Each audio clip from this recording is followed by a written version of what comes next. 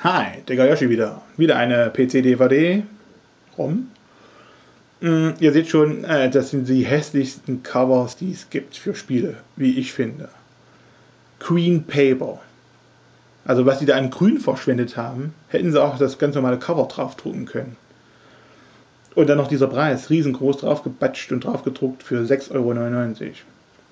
Ja, leider, wie gesagt, in der hessischen, also mit dem hessischen Cover.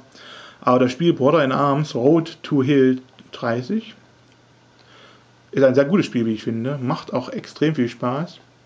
Das ist so, was ich gesagt habe, so ein Eco-Shooter, wo man halt die Leute, also seine Mannschaft ein bisschen dirigieren kann, was damals neu war.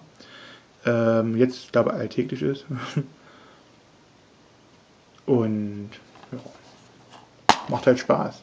Online habe ich das Spiel nie gespielt, also im Multiplayer. Nie gezockt, warum auch immer, keine Ahnung. Ähm, aber die Singleplayer-Kampagne hat mir ja sehr viel Spaß gemacht, also die hat mich, die Geschichte war sehr gut.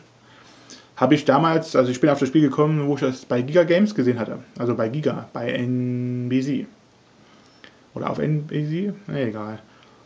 Und ja, das hat mich damals fasziniert und darum habe ich mir das gekauft und ich finde es immer noch toll, das Spiel. Also muss ich sagen, macht immer noch Spaß. Ja, das war's wieder von mir. Bis demnächst.